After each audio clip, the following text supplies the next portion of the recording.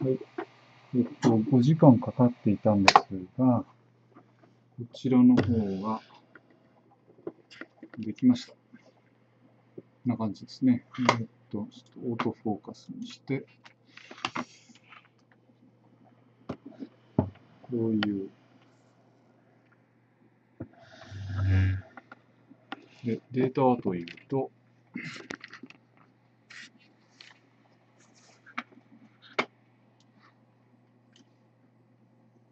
えー5時間40、もうほぼ6時間近くかけて、これが、えー出来上がったわけです。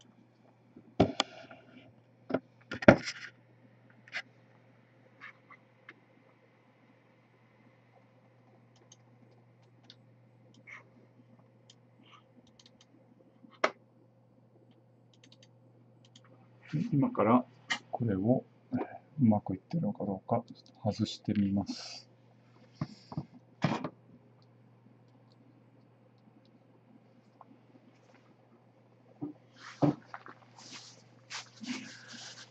これ黒はいらないぐらいかもしれないですね。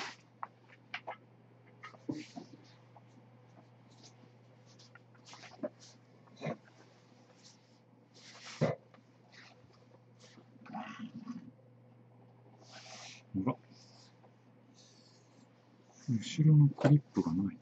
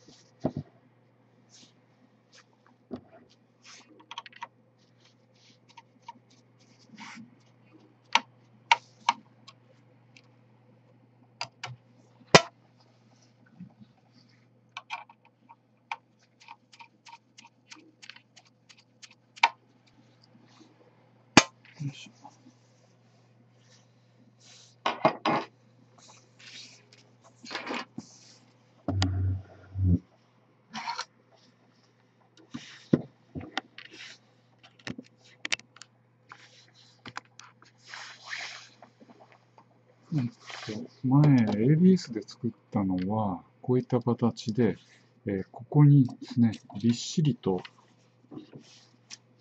えーサポート材が詰まってまして、ちょっと現実的にかなり、えー除去していくのが難しい状態でした。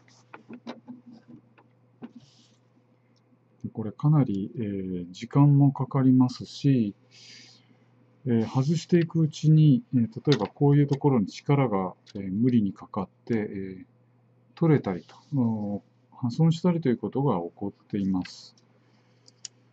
で今回は、えサポートの、え角度ですね、え調整をしまして、そしてそのまんま造形がサポートなしでできるように設定をしてみました。でおそらくこれポロンと取れると思いますけど。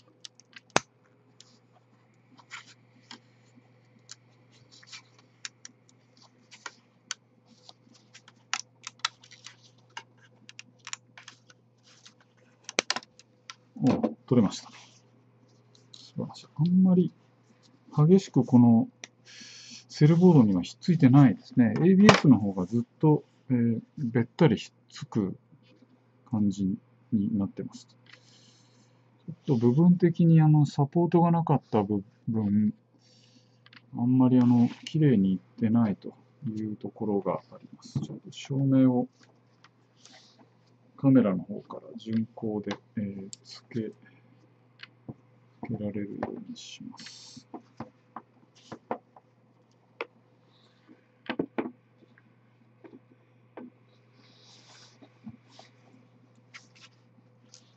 これとピントが合いやすいんじゃああ、ピント合いやすいですね、確かに。えーっと、この辺は確かに、ちょっと無理がありますね、これね。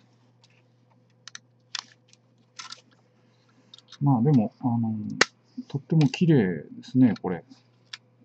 外してみますと、こうやって手で引っ張るだけでポロンポロンと取れていきます。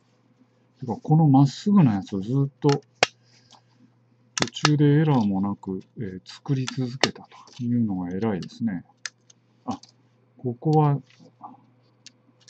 サポートが若干、えー、動いてしまった部分はちょっと汚くなってるのがわかりますかね。これね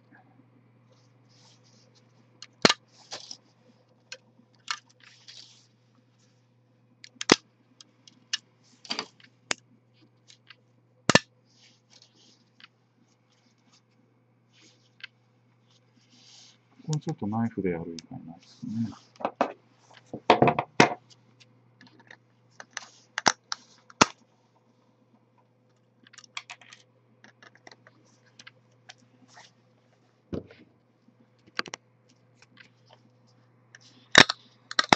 おお。なかなか上手にできてますね。この間にすらサポートが入ってないと驚きです。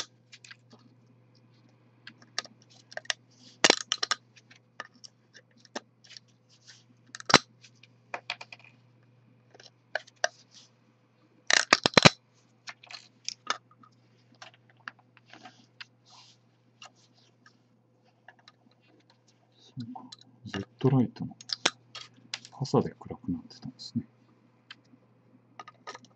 いしょ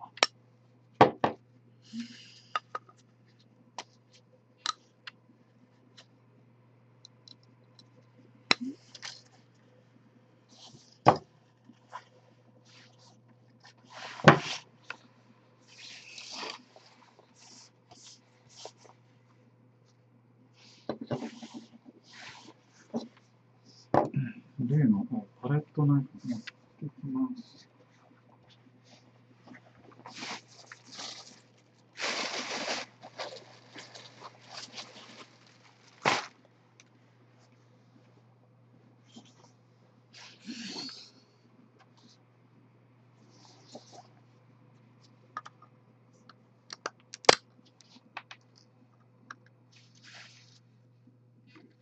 これでほぼ取れた状態になってるんですが、これはひょっとしたらエラーでしょうかね。データ上のエラーがここに入ってるように思います。とピントが合わないですね。ピント合うかな合わないですね。えー、っと、一部分と造形物がないところに、えー、ずっと、えー、線のような、えー、糸のような形で造形が入っちゃってるところがありますね。これなんかあの単なるあのよだれのようなものが、えー、ひっついてそのまま残ったという感じなんですが、一部分こうデータ上の不備のようなところがあります。おそらくこれですね。ちょっと見えづらいんですけど、おそらくこれはそうですね。これ、データ変換時に、え、エラーか何か起こしたんだろうと思います。こういった形で、えー、出来上がってきているので、後加工が非常に、えー、少なくて済むと。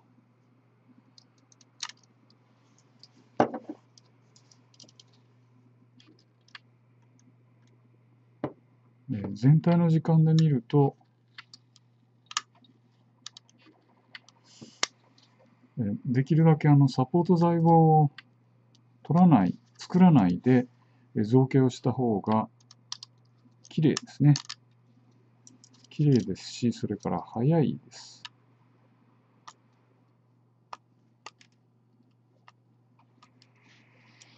最終的な造形物を得るのに、サポートをずっと